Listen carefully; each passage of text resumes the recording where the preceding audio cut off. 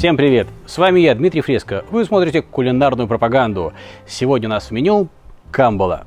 Отхватил вчера вот эту красотку в магазине.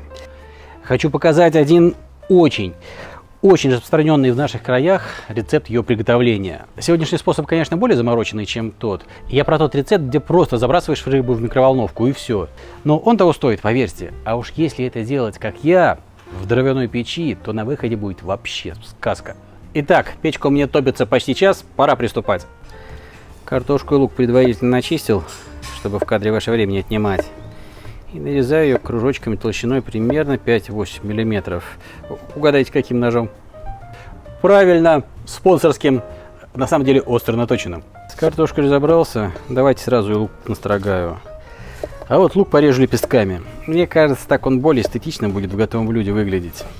Камбала у меня крупная, красивая, значит и подача сегодня тоже может быть такая презентабельная, праздничная, прям скажем. Ну, как видите, подготовился, можно начинать. Рыба запекается быстро, гораздо быстрее картошки и лука, поэтому перед началом запекания рыбы подготовлю картошку, попросту поджарю ее. Уголечков надо выгрести из печи и сложить здесь. Маловато будет.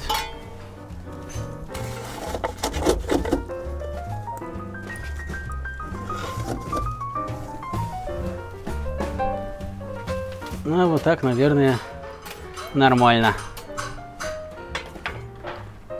Поехали. Выдружаю на угли. Кстати, нужно, наверное, эту форму для запекания тоже в печку отправить, чтобы грелась. Вот так. Приступим. Сразу масло сюда. Щедро так. Испанцы вообще при приготовлении морепродуктов используют очень много масла. Это у меня оливковое. А здесь не вижу ни черта уже. Смесь рафинированного и экстравержен ароматного. За картошкой на углях надо следить. Это не кухонная плита. Здесь отрегулировать нагрев в разы сложнее. Конечно, я мог бы сначала поджарить спокойно эту картошку на кухонной плите, эти овощи будут мне выполнять роль подушки для запекания рыбы.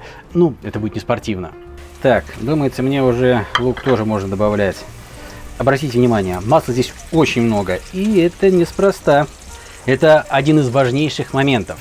Все жители Средиземки отлично знают, что рыба, ну, морская рыба, скажу точнее, камбала, обожает чеснок. А, даже не просто чеснок, а масло с чесноком. Кстати, насчет чеснока. Надо его нарезать пластинками. Желательно тонкими. Вот такими. И сразу же острый чили перец. Вместе с косточками, чтобы остроты побольше. Ну и помидоры сразу нарежу. Это тоже кружочками. Ну или, как говорят в Испании, радахас. Такие ломтики в самый раз. А что там с картошкой? Думаю, уже пора. Ну-ка, да, она почти готова. Можно продолжать. Оставлю сковородочку, а сам для формы для запекания. Она у меня в печи грелась. Массивная же, глиняная. Иди сюда. Иди сюда ко мне. Вот на ней соберу весь натюрморт. Картошку сюда. Да, и немного масла вот этого ароматного. И лучок. Надо все разровнять, чтобы слой получился равномерный. Эдакая подушка. Картошка уже практически готова. Еще немного и разваливаться начнет. Поэтому не страшно, если я на нее положу помидоры.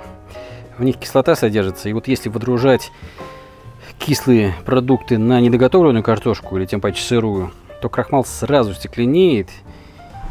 И пытаться запечь до готовности можно будет потом картошку эту до морковного заговения. Сразу же посолить и рыбу на эту подушку. И надо пару надрезов сделать. Они чуть позже понадобятся. Ну и посолю тоже. Вот так. Немного оливкового масла перед тем, как в печь отправлять. Вот так. Чтобы не пересыхало. Все, отправляю рыбу в печь.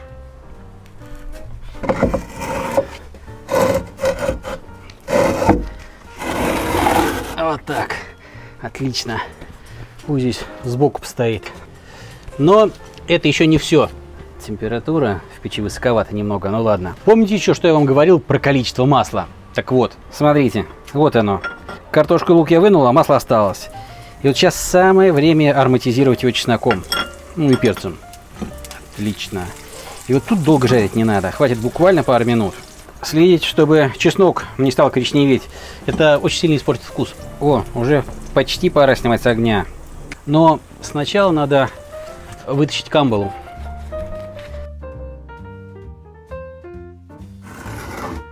Так. Прямо вот здесь и пристроюсь. И вот теперь поливаю горячим ароматизированным маслом, чтобы в эти надрезы все попало. Отлично.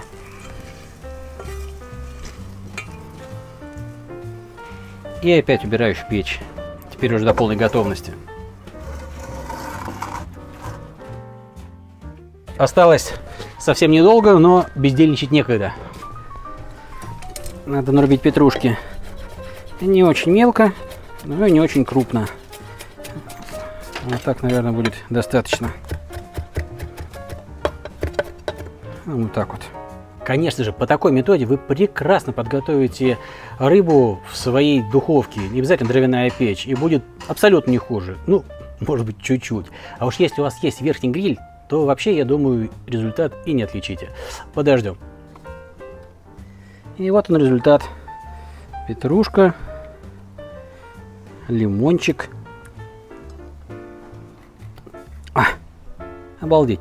Соседний дом купили жители Голландии и дни напролет его ремонтируют. Грохот стоит постоянный. Извините. Ну и как вам такое блюдо в качестве праздничного? Мне кажется, гости будут в восторге. Ну, если они, конечно, только не шарахаются от рыбы, как один из моих малолетних операторов. Не знаю, мне очень нравится. Подавать это надо, конечно же, с холодным белым вином. Особенно в такую погоду, как у нас сейчас. Вроде не очень жарко, там 32 градуса всего, но так парит. А, давайте уже пробовать. Тарелки, конечно, выглядит не столь презентабельно, но рыба очень нежная и очень сочная. И, кстати, даже подпалины не образовались, несмотря на высокую температуру в печи. А, пахнет восхитительно. Обожаю рыбу, обожаю камбалу. А здесь легкий аромат чеснока чуть-чуть в печи пережарился. Чуть-чуть сильнее, чем надо бы. Ой, а здесь еще и острота перца присутствует. Класс. И а, жареная картошечка с лучком.